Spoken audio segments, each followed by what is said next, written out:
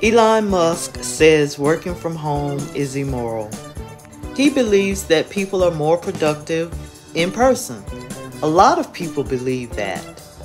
Sometimes it's bits though, butts in the seat. I don't miss the commute.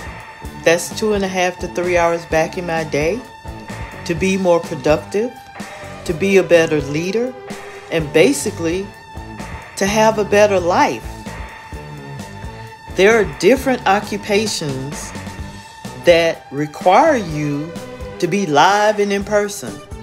But for those of us who can work from home, why in the world is that immoral?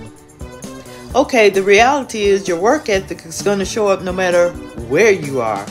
And tools and technology help us to collaborate effectively and efficiently for better productivity.